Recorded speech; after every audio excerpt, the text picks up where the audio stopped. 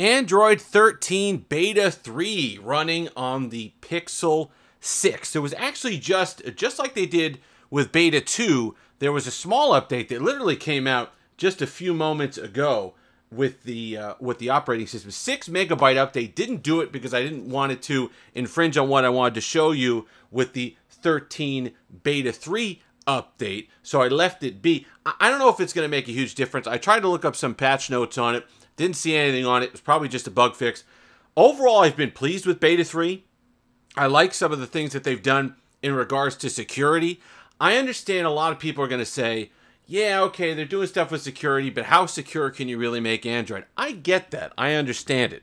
But to know that privacy is at least at the front of the conversation, is at least something that's being used as an advertising ploy to get people to buy these devices. If there's a competition over your dollar when it comes to privacy, and these companies kind of have to compete to who's going to be the most secure, that's a good thing. We all win in that case. So let's talk about two things when it comes to that. Well, one that's more about security, one's just more about permissions and annoyances. The first thing that I love that they did with Beta 3 is that you can see it right here. Review notification settings. Starting in Android 13, apps that you install need your permission to send notifications. Tap to change this permission for existing apps. That's fantastic. We're actually going to go through that right now. But how many apps that you get and download and you just don't even pay attention to or you don't want to hear from and you don't bother to go into the notifications and look and see how many DraftKings notifications do I need?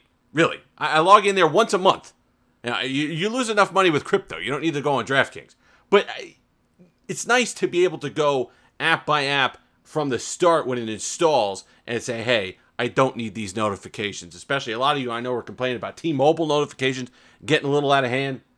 AT&T could be the same way. So it's nice to be able to control those on an app by app basis and give you the option up front. So let's go ahead and do that, see what it looks like. Tap right in, and here it is, most recent by app. This is something that you could have done, pulled down notifications, gone into notification settings, and it would give you a similar menu, but it is nice to have it up front when you're installing it and then when you install an app. So I'll go ahead and leave these for now. You know what? I'm going to turn off LinkedIn. If you have LinkedIn, you know how annoying that is eBay, you know how annoying it could be. It gives you these seller offers all day long. It's not something that you need constant updates from, so it's nice to be able to do that.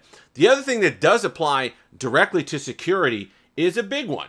It's something that Wi-Fi notifications. So now it'll actually allow you to scan for Wi-Fi networks, but it'll no longer give up your location information of this device. So you can scan for nearby Wi-Fi hotspots when you're out and about, but it's not going to give up your location anymore, which is a good thing because even when you had mobile networking and mobile data off and you thought and GPS off and you thought maybe, well, that's going to keep me off the grid or it'll at least give me some privacy and security and that people can't track me or, or my apps can't track me or stuff like that. Well, not exactly because they can take Wi-Fi networks and you're, if you're in range of enough of them, they know the locations of those Wi Fi networks. And if you're pinging those, if you're connecting to those, or at least within range of those, they can kind of triangulate your position. They, I, I sound like I got a tinfoil hat on.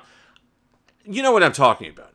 It's just one extra layer of privacy and location data that you don't have to worry about. Because even though you're not doing anything, even though no one is probably actively tracking you at any given time, your apps do use that information.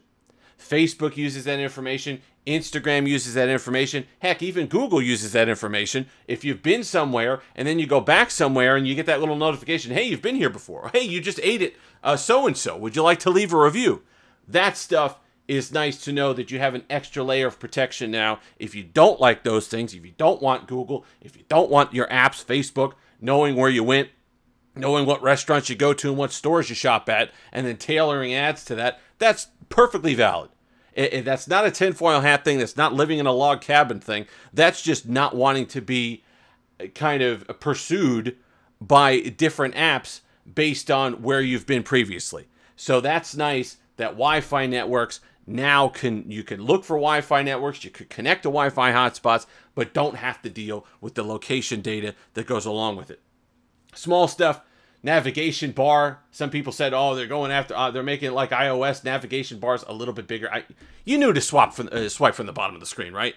Did anybody have to? Whether it was there or not, I don't think I've ever seen the thing or paid attention to it or the size of it from swiping at the bottom of the screen. I think that's pretty universal now with gestures. We know to swipe from the bottom of the screen, but they made the navigation bar a little bit bigger, a little bit easier if you're pulling up for Google services or Google Assistant or something like that. You have a little bit easier time finding it on your Pixel 6. The other thing that's that's going to be Pixel 6 specific, I think anyway, is performance. I said this with Beta 2, I'm going to say it again with Beta 3. This has been absolutely excellent. This is the performance and the Google Pixel experience that I wanted when I first bought the device.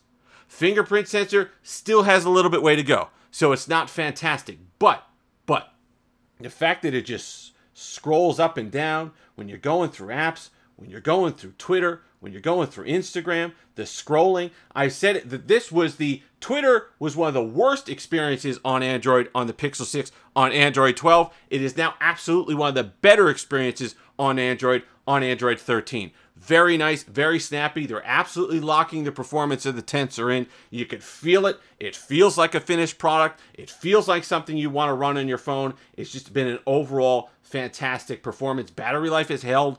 No issues there. I'm still getting my six hours of screen on time. Should you install it? That's a different story. You know, Serrano, C. Butler is great channel. He had an issue where he tried he installed 13, tried to go back to 12, bricked his Pixel 6. That's something that's going to happen. This is a beta. So if this is a device that you rely on for work, if you have some work specific applications that you need mission critical stuff, don't install a beta because there's always a chance that the API that you need for that particular app isn't going to work and you're going to be wind up being stuck and you're trying to go back to Android 12 and you're going to brick it. So uh, for Twitter, for Instagram, for texting, for Google Messages, for Facebook, for YouTube stuff, this is going to be just fine. But if you have stuff that's a, a work-specific device or, or this is your only form of communication with your family or getting stuff done, hold off until September until the final release because you're going to be fine. But you are going to be pleased. And if you're somebody who's just struggling with Android 12 and you don't care, maybe this is a secondary device, maybe you got nothing to lose. As long as you get texts and calls, which it'll do, and Twitter, and you're fine with that, and you're just sucking wind on Android 12, go ahead and install it because you're going to be pleased. You're going to be really pleased with the performance on this device, the Pixel 6, on Android 13. I can't wait for the full release. It makes me excited for the Pixel 7 now. Really does. You know, and, and coming from me, we've said it before, only Nixon could go to China. You know, I, I bashed the Google devices enough. We've had our, our disagreements over what's going on with the Pixel 6. I absolutely think they fumbled it. But if it gets better and better, if the support gets better and better, if they if they kind of parlay that into a great Pixel 7 software experience with Android 13, if they're able to improve the tensor experience on uh, the Pixel 6 devices on Android 13, listen, you got to give credit where credit is due. And so far, so good on Android 13 that is, has extended into the beta 3. If you've made it this far, like, comment, subscribe, all that fun stuff. Until next time, have that Stevealicious day.